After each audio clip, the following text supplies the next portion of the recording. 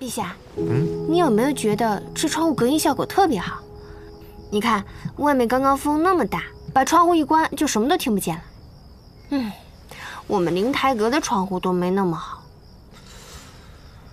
那等你回宫了，搬过来，朕也给我们的房间换个好的。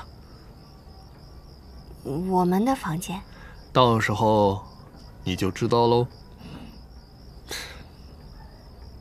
时候不早了，快去睡吧。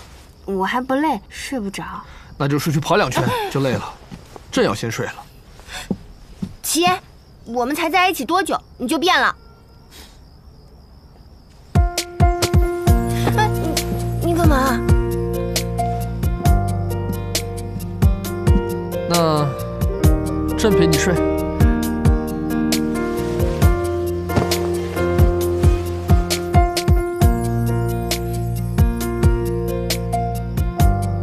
睡吧。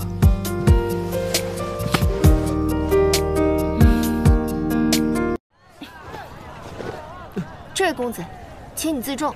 初次见面，这样的行为太无礼了。初次见面，难道不是吗？怎么，你认识我？如果公子没有什么事的话，我得先回去找我们家小姐了。萌萌，你在说什么？公子。你这是强抢民女，知道吗？萌萌，你真的不记得我了吗？我根本就不认识你。还有什么事儿吗？没事的话，我先走了。哎，公子，他们追上来了。陛下，我们去把他们引开。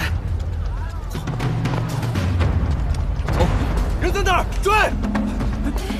别跑！快，跟上，追！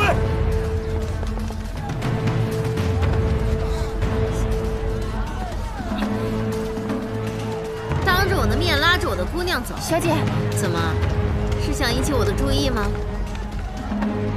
你想怎样？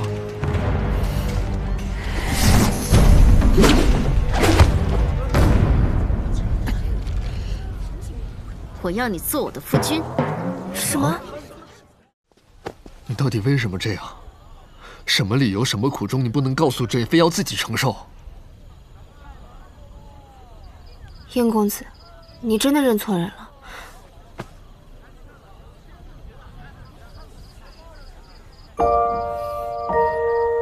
假如真认错人了，那朕就把这个拿回去。送给人家的东西不可以拿回去的。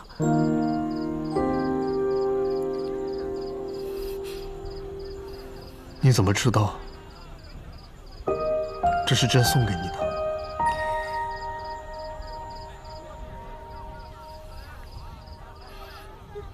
你还有什么理由借口？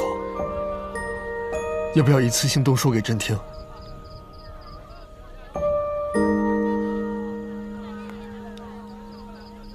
没有了。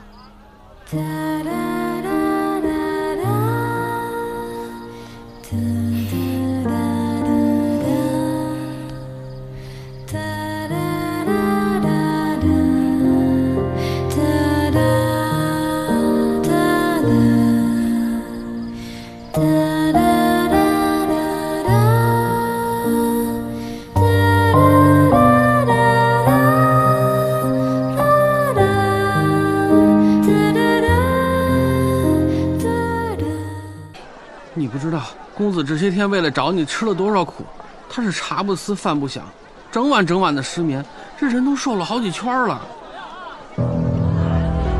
姑娘，难道不想回家吗？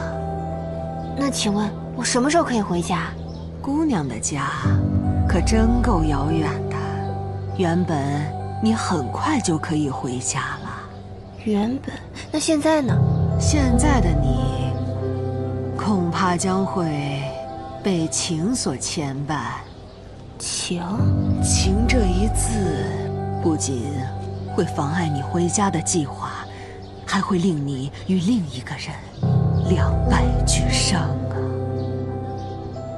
两败俱伤。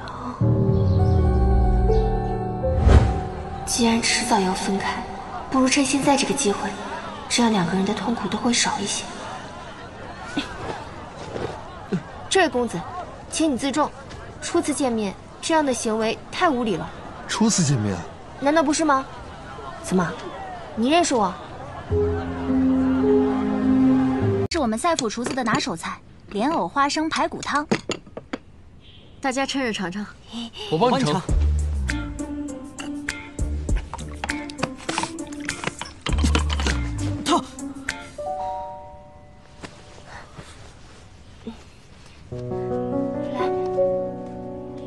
皇室的图腾。用不用上点药？没事没事，小伤而已，继续吃，小伤。燕公子也尝尝。花生，好。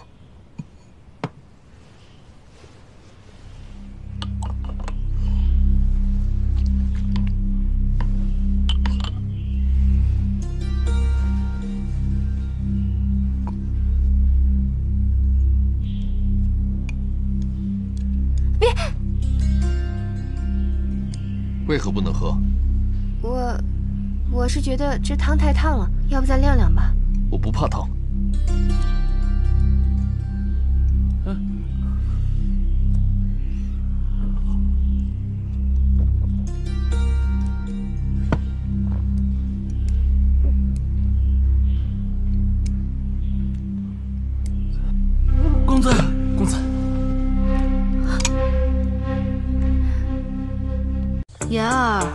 后来看你了，你身体好些了吗？妍儿，你怎么不说话呢？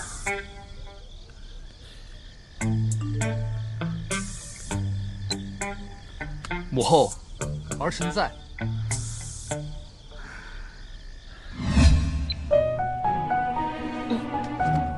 母后，儿臣在。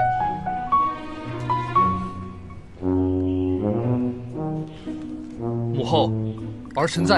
哎呦，这何人如此大胆，竟敢冒充陛下？哎，不是冒充，这个呀叫手机录音功能。你看啊，如果呢我们去到卢县，其他人过来找陛下，陛下可以不回应；可是如果太后过来找陛下的话，陛下总不能不回应吧？所以呢，我们就先要录好陛下的声音，这样就可以应付太后啦。母后，儿臣在。哎呀，给我，别玩了，手机都没电了，我充电宝都没多少电了。嗯，嗯，再说一句。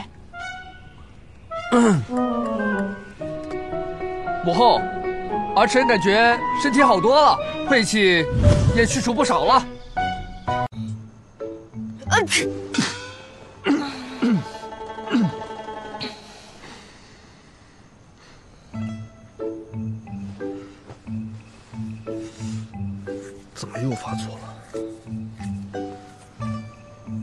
去把朕的药膏拿过来，桌子上。